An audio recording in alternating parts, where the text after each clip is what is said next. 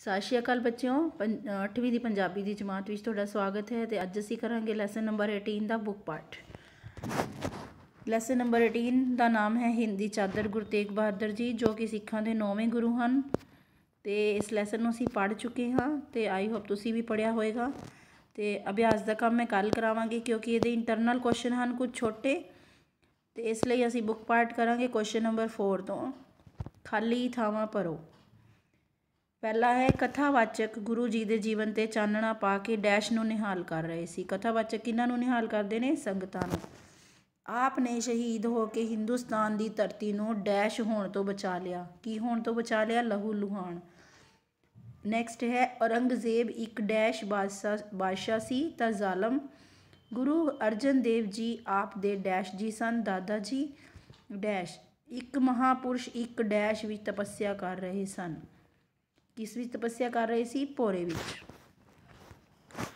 Next ਕੰਮ ਹੈ ਬਹੁ ਵਿਕਲਪੀ ਪ੍ਰਸ਼ਨ ਗੁਰੂ ਤੇਗ ਬਹਾਦਰ ਜੀ ਸਿੱਖਾਂ ਦੇ ਕਿੰਨਵੇਂ ਗੁਰੂ ਸਨ ਨੌਵੇਂ ਸੀਸਗੰਜ ਗੁਰਦੁਆਰਾ ਦਿੱਲੀ ਵਿਖੇ ਕਿੱਥੇ ਸਥਿਤ ਹੈ ਚਾਂਦਨੀ ਚੌਕ ਵਿੱਚ ਗੁਰੂ ਤੇਗ ਬਹਾਦਰ ਜੀ ਦਾ ਜਨਮ ਕਦੋਂ ਹੋਇਆ 1621 ਈਸਵੀ ਵਿੱਚ ਬਾਬਾ ਬਕਾਲਾ ਵਿਖੇ ਗੁਰੂਆਂ ਦੀਆਂ ਕਿੰਨੀਆਂ ਮੰਜੀਆਂ ਲੱਗੀਆਂ ਸੀ 22 22 ਜਿਹਨੂੰ ਕਹਿੰਦੇ ਆ ਪੰਜਾਬੀ ਚ 22 ਕਹਿੰਦੇ ਆ ਪੰਜਾਬ ਸਰਕਾਰ ਨੇ ਖਾਲਸੇ ਦਾ ਜਨਮ ਦਿਨ ਕਦੋਂ ਮਨਾਇਆ ਸੀ? 1999 ਵਿੱਚ। 300 ਸਾਲਾ, ਠੀਕ ਹੈ? ਨੈਕਸਟ ਹੈ, ਇਹ ਜੋ ਕਦਰਾਂ ਕੀਮਤਾਂ ਦੇ ਆਧਾਰਿਤ ਪ੍ਰਸ਼ਨ ਹੈ, ਇਹਨਾਂ ਨੂੰ ਵੀ ਜ਼ਰੂਰ ਪੜ੍ਹਨਾ ਤੁਸੀਂ। ਤੇ ਲੱਭਣ ਦੀ ਕੋਸ਼ਿਸ਼ ਕਰਨਾ ਕਿ ਬਾਬੇ ਬਕਾੜੇ ਬਾਈ ਮੰਜੀਆਂ ਕਿਉਂ ਲੱਗੀਆਂ ਸੀ? ਇਹ ਤਾਂ ਲੈਸਨ ਦੇ ਵਿੱਚ ਹੀ ਆ ਗਿਆ। ਸਿੱਖਾਂ ਦੇ 10 ਗੁਰੂ ਸਾਹਿਬਾਨਾਂ ਦੇ ਨਾਮ ਤੁਹਾਨੂੰ ਪਤਾ ਹੀ ਨੇ, ਜੋ ਬੱਚੇ ਗੁਰਦੁਆਰੇ ਜਾਂਦੇ ਨੇ। ਸੀਸਗੰਜ ਗੁਰਦੁਆਰੇ ਦਾ ਇਤਿਹਾਸ ਕੀ ਹੈ? ਵੀ ਤੁਹਾਨੂੰ ਪਤਾ ਹੈ, ਉੱਥੇ ਕੀ ਹੈ? ਗੁਰੂ ਤੇਗ ਬਹਾਦਰ ਜੀ ਨੇ ਆਪਣੀ ਸ਼ਹੀਦੀ ਦਿੱਤੀ ਸੀ। ਗੁਰੂ ਤੇਗ ਬਹਾਦਰ ਜੀ ਨਾਲ ਸ਼ਹੀਦ ਹੋਣ ਵਾਲੇ ਪੰਜ ਸਿੱਖਾਂ ਦੇ ਨਾਮ ਇਹ ਤੁਸੀਂ ਲੱਭਣੇ ਹਨ। ਤੇ ਨੈਕਸਟ ਹੈ ਗੁਰੂ ਹਰਕ੍ਰਿਸ਼ਨ ਜੀ ਵੱਲੋਂ ਉਚਾਰੇ ਸ਼ਬਦ ਬਾਬਾ ਬਕਾਲਾ ਤੋਂ ਕੀ ਭਾਵ ਹੈ? ਬਾਬਾ ਬਕਾਲਾ ਕੀ ਹੈ? ਇੱਕ ਜਗ੍ਹਾ ਦਾ ਨਾਮ ਹੈ ਜਿੱਥੇ ਨੌਵੇਂ ਗੁਰੂ ਦੀ ਭਾਲ ਕਰਨ ਲਈ ਉਹਨਾਂ ਨੇ ਜੋ ਹੈ ਇੱਕ ਹਿੰਟ ਦਿੱਤਾ ਸੀਗਾ। ਨੈਕਸਟ ਅਸੀਂ ਕਰਾਂਗੇ ਵਿਆਕਰਨ ਨਾਲ ਰਿਲੇਟਿਡ ਜੋ ਹੈ ਕੰਮ ਉਹ ਕਰਾਂਗੇ। ਬਹੁਤੇ ਸ਼ਬਦਾਂ ਦੀ ਥਾਂ ਇੱਕ ਸ਼ਬਦ ਲਿਖੋ। ਕਥਾ ਸੁਣਾਉਣ ਵਾਲਾ, ਕਥਾਵਾਚਕ। ਦੇਸ਼ ਧਰਮ ਦੀ ਖਾਤਰ ਮਰ ਮਿਟਣ ਵਾਲਾ, ਸ਼ਹੀਦ। ਦੂਜਿਆਂ ਤੇ ਦਇਆ ਕਰਨ ਵਾਲਾ, ਦਿਆਲੂ। ਜਿਸ ਦਾ ਕੋਈ ਮੁੱਲ ਨਾ ਪਾਇਆ ਜਾ ਸਕੇ, ਅਮੁੱਲ। 100 ਸਾਲ ਬਾਅਦ ਆਉਣ ਵਾਲਾ ਦਿਨ, ਸ਼ਤਾਬਦੀ। 100 ਸਾਲਾਂ ਵੀ ਕਹਿੰਦੇ ਵੈਸੇ ਇਹਨੂੰ 100 ਸਾਲਾਂ ਵੀ ਲਿਖ ਸਕਦੇ ਹੋ। ਨੈਕਸਟ ਹਨ ਵਿਰੋਧੀ ਸ਼ਬਦ ਲਿਖਣੇ ਹਨ। ਪਹਿਲਾ ਕੀਤਾ ਗਿਆ ਹੈ ਵਿਰੋਧੀ, ਲਿਖ ਕੇ ਉਸ ਦਾ ਸੈਂਟੈਂਸ ਵੀ ਬਣਾਉਣਾ ਹੈ।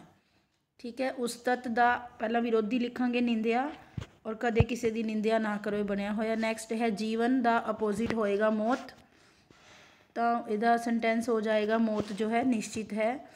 ਕੋਮਲ ਦਾ ਵਿਰੋਧੀ ਸ਼ਬਦ ਹੈ ਕਠੋਰ।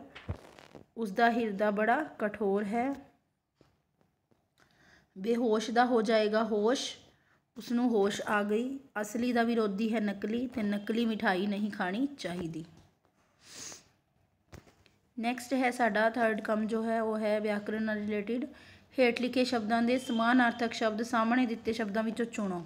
ਸਾਹਮਣੇ ਤਿੰਨ ਤਿੰਨ ਸ਼ਬਦ ਦਿੱਤੇ ਨੇ, ਉਹਨਾਂ ਵਿੱਚੋਂ ਸਮਾਨਾਰਥਕ ਚੁਣਨਾ ਹੈ।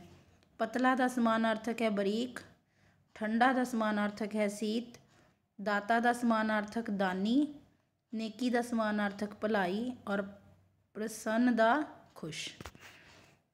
ਆਈ ਹੋਪ ਤੁਹਾਨੂੰ ਜੋ ਹੈ ਲੈਸਨ ਸਮਝ ਆ ਗਿਆ ਹੋਵੇਗਾ ਤੇ ਇਹਦਾ ਬੁੱਕ ਪਾਰਟ ਜੋ ਹੈ ਕੰਪਲੀਟ ਕਰ ਲੈਣਾ। ਸਾਰੇ ਬੱਚੇ, ਅੱਜ ਦਾ ਤੁਹਾਡਾ ਹੀ ਹੋਮਵਰਕ ਹੈ ਕਿ ਬੁੱਕ ਪਾਰਟ ਤੁਸੀਂ ਕੰਪਲੀਟ ਕਰਨਾ ਹੈ। ਔਰ ਕੱਲ ਅਸੀਂ ਇਸ ਦੇ ਜੋ ਹੈ ਕੁਐਸਚਨ ਆਨਸਰ ਕਰਾਂਗੇ। ਧੰਨਵਾਦ।